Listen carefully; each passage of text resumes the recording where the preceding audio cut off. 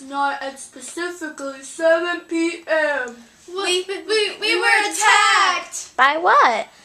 Dirty pennies! Ah! How could it be? I know. Dirty pennies are evil, and many people have a phobia of them. So the cure to this terrible phobia is that we're going to decide to test the experiment on which acid cleans the copper oxide off the pennies the best. So what we'll need is four cups.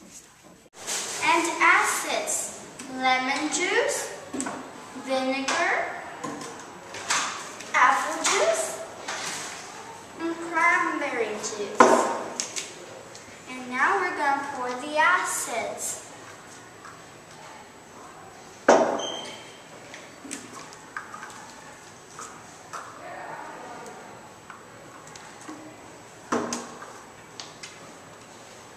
But let's not forget the pennies.